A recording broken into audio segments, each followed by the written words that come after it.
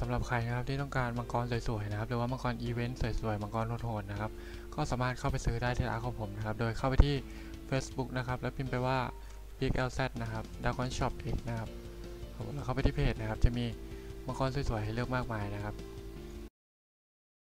แล้วครับก็สวัสดีกันด้วยนะครับผมวันนี้นะครับอยู่กันในเกม Roblox นะครับอยู่กันในแบบ Dragon Adventure นะครับผมอยู่กับผมนะครับช่องพอซีเช่นเดิมนะครับผมวันนี้นะก็ จะมาทำตามนะครับที่น้องๆขอมานะครับก็คือ วิธีการทำมังกรสีนีออนหรือว่าสีเรืองแสงนั่นเองนะครับ แล้วก็จะมาแนะนำวิธีการเปลี่ยนสีมังกรด้วยนะครับผมโอเคยังไงก็ก่อนรับชมคลิปนี้นะครับ ก็อย่าลืมนะครับที่จะไปกดไลค์นะครับกด subscribe แล้วก็กดกระดิ่งนะครับเพื่อเป็นกำลังใจในการทำคลิปต่อไปของผมนะครับผมอะสิ่งที่ต้องมีอย่างแรกนะครับ ในการจะทำมังกรสีนีออนนะครับผมต้องบอกก่อนเลยนะว่า สีนีออนนะครับเป็นพื้นผิวชนิดหนึ่งนะครับของมังกรนั่นเองนะครับ ซึ่งมังกรส่วนใหญ่ standard นะครับที่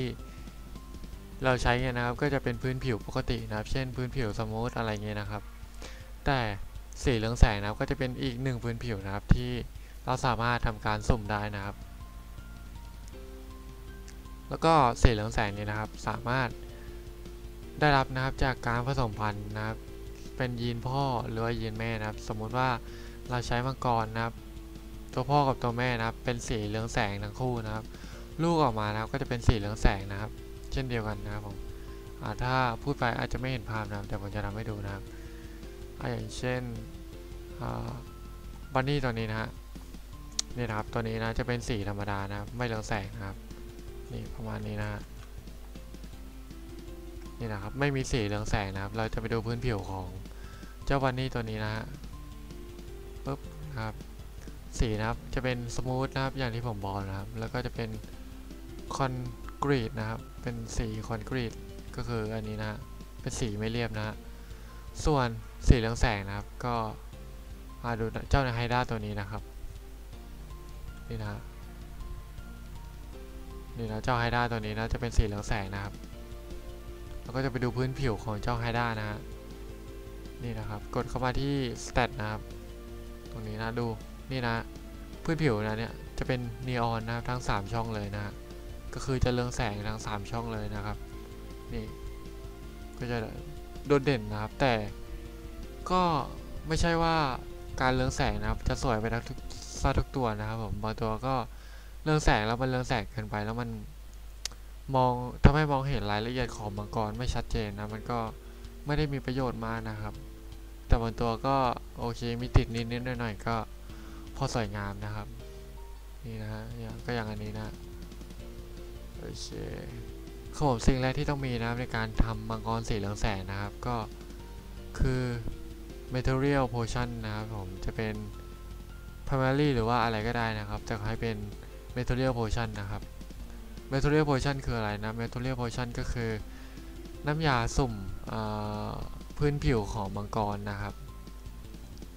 material shuffle potion นะครับก็คือ การสุ่มพื้นผิวของมังกรทั้ง 3 ช่องนะครับ ไม่เฉพาะเจาะจงช่องใดช่องหนึ่งนะครับ ก็คือนี่นะจะมี 3 ช่องนะครับ ก็คือสุ่มไปทั้งหมด 3 ช่องเลยครับ เราไม่สามารถเลือกได้นะมันจะสุ่มไปหมดเลยครับผมอันที่ 2 ก็คือ primary material potion นะครับ ก็คือ การสุ่มพื้นผิวของมังกรช่องแรกนะครับ ช่องแรกก็คือช่องซ้ายมือสุดนะครับ ช่องนี้นะครับ เป็นช่องเฉพาะเจาะจงนะครับ สมมุติว่าเราต้องการจะทำมังกรเรืองแสงทั้ง 3 ช่องนะครับ หรือว่าเรืองแสงทั้งตัวเนี่ย เรามีช่อง 2 ช่อง3เป็นสีเหลืองแสงแล้วนะฮะ ให้เราใช้ primary นะฮะในการสุ่มช่องแรกนะครับ เพราะว่าถ้าเราใช้ material potion ธรรมดาเนี่ยมันจะสุ่มทั้ง 3 ช่องนะครับ มันก็จะสุ่มไปอีกนะครับ แล้วก็มันจะยากขึ้นนะครับ เคก็แนะนำให้เฉพาะเจาะจงไปดีกว่านะครับโอเคอันที่ 2 ก็คือช่องกลางนะก็คือ secondary นะครับ secondary material portion นะครับ แต่ว่าผมไม่มีนะฮะ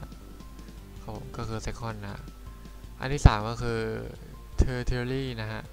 อันนี้นั่นเองครับ ก็คือช่องที่ 3 นะครับ จะเป็นการสุ่มเฉพาะเจาะจงนะครับโอเคส่วนเรื่องสีนะครับก็จะ เป็น potion อันนี้นะครับ color shuffle potion นะฮะจะเป็นการสุ่มสีมังกรทั้ง 3 ช่องนะครับอัอันที่ช่องแรกก็คือ primary potion นะครับธรรมดา อันที่ 2 ก็คือ secondary potion นะครับ เป็นการสุ่ม4ช่องที่ 2 อันที่ 3 ก็คือ tertiary นะฮะ potion เป็นการสุ่ม4ช่องที่ 3 นะครับ หรือว่าช่องขวาสุดนั่นเองนะครับ โอเค วันนี้นะผมก็จะมาสาธิตให้ดูนะครับในการจะทำ เจ้าบันนี่นะฮะให้เป็นสีเหลืองแสงนะครับ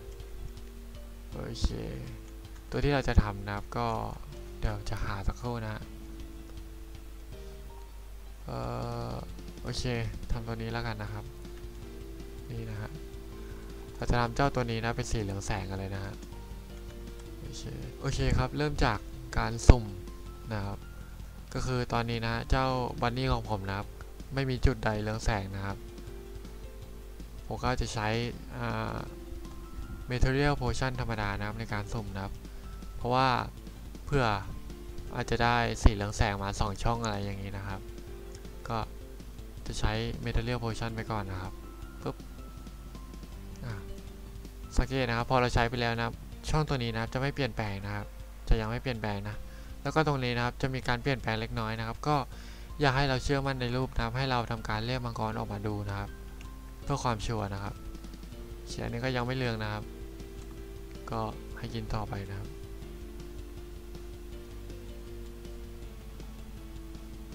ปุ๊บ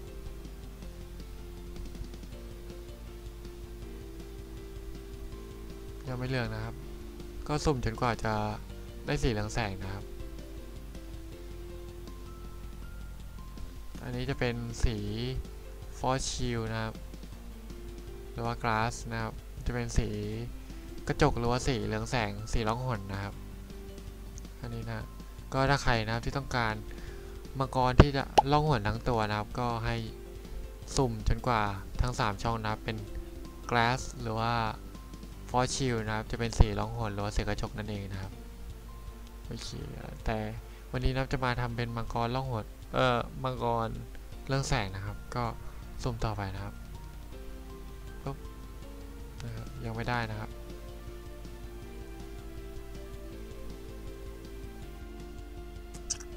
อันนี้ก็เป็นสีเรืองแสงนะครับเขียนไปต่อนะครับ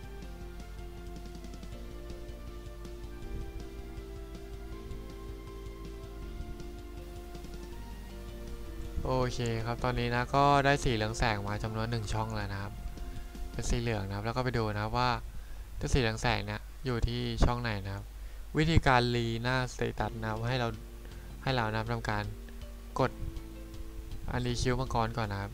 แล้วก็กดปิดไปนะครับแล้วทำการเปิดช่องเอาใหม่นะครับ แล้วก็กดที่มังกรนะครับ กด stat นะครับ นี่นะครับนีออนเป็นช่องแรกนะครับ ก็เหลือช่อง 2 ช่อง 3 นะครับ ก็อันนี้ผมก็จะใช้น้ำยานะครับที่เฉพาะเจาะจงในการสุ่มพื้นผิวแล้วนะครับ ช่อง 2 ช่อง 3 ก็คือ secondary นะครับ เอ่อ tertiary นะครับ tertiary นะครับก็อันนี้ผมไม่มี secondary นะครับผมก็จะข้ามไปช่อง 3 เลยแล้วกันนะครับทำการสุ่มไปนะครับปุ๊บกดเรียกมาดูด้วยนะครับออนี่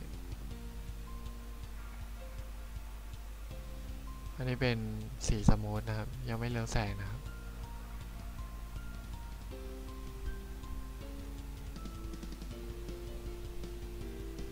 เค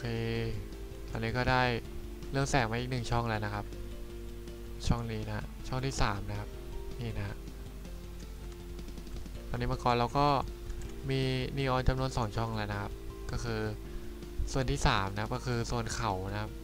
แล้วก็ส่วนแรกก็คือส่วนตัวนะครับถ้าเราต้องการจะให้สีดำนะเรื่องแสงด้วยเราก็ต้องเปลี่ยนช่อง2นะครับให้เป็นนีออนนะครับผมโอเค แต่ว่าวันนี้นะผมไม่มีน้ำยาที่จะเปลี่ยนพื้นผิวช่องสองมานะครับผมก็จะขอข้ามไปก่อนแล้วกันครับโอเคครับต่อมาแล้วก็จะเป็นการเปลี่ยนสีมังกรนะผมก็จะใช้หลักการเดียวนะครับกับการเปลี่ยนพื้นผิวของมังกรนะครับก็คือจะมีช่องแรกช่อง 2 ช่อง3นะครับเช่นเดียวกันเลยนะครับผมก็เดี๋ยวผมจะ สำหรับคนที่มีคอนเซปต์นะครับในการต้องการสีแบบว่าธีมนี้ธีมนี้นะครับก็แนะนำให้ใช้เป็นน้ำยานะครับที่เฉพาะเจาะจงกับสีที่เราต้องการนะครับ แต่ว่าสำหรับคนที่ไม่มีคอนเซปต์นะครับสีที่เราต้องการนะครับก็แนะนำให้ใช้เป็น Color Shuffle Potion นะครับให้มันสุ่มเสกทั้ง 3 ช่องนะครับ เพื่อแบบจะได้สีออกมาที่โอเคพอดีนะครับครับผมก็จะลองมาสุ่มดูนะครับ ปุ๊บนะครับอันสีนี้เราต้องกดมังกรเรียกออกมาดูนะ เพราะว่าสีมันจะไม่ตรงกับที่มันสุ่มออกมานะครับ อย่างเช่นอันนี้นะ อันนี้สีเขียวนะครับตรงนะครับ แต่ว่าตัวนี้สีม่วง อันนี้เป็นสีเหลืองนะครับ ตัวเป็นสีม่วงนะครับ แต่ว่าอันนี้เป็นสีน้ำเงินนะมันจะไม่ตรงกันนะครับ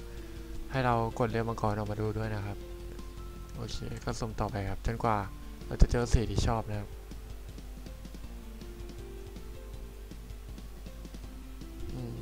โอเคครับอันนี้ก็โอเคแล้วนะครับนนะก็ลองดูนะว่าโอเคหรือยังนะครับถ้าอันนี้นะอย่างเช่นถ้าอันนี้ผมต้องการเปลี่ยนตรงเอ่ออันนี้มันยังไม่รีนะครับ ต้องกดใหม่นี่นะครับอย่างเช่นผมต้องการเปลี่ยนตรงสีส้มนี้นะให้เป็นสีดำนะครับก็ ต้องเปลี่ยนช่อง3นะครับหรือว่าใช้ t e r t i a r y นะครับ Color Shuffle นะครับในการเปลี่ยนเฉพาะเจาะจงในช่อง3นะครับโอเคหวังว่าจะไม่งงกันนะครับผมแล้วก็จบกันไปแล้วนะครับในการเปลี่ยนสีมังกรแล้วก็วิธีการทำมังกรให้เป็นมังกรล่องหนแล้วก็มังกรเรืองแสงนะครับผมเป็นยังไงกันบ้างนะหวังว่าจะไม่งงกันนะครับผมก็ถ้าชอบคลิปนี้นะครับ ก็อย่าลืมที่จะกดไลค์กดแชร์กด subscribe นะครับ แล้วก็ กดกระดิ่งนะ เพื่อที่จะไม่พลาดข่าวสารใหม่ๆนะครับ แล้วก็เป็นกำลังใจให้ผมทำคลิปต่อๆไปด้วยนะครับผมสำหรับวันนี้ก็ลากันไปก่อนนะครับ สวัสดีครับ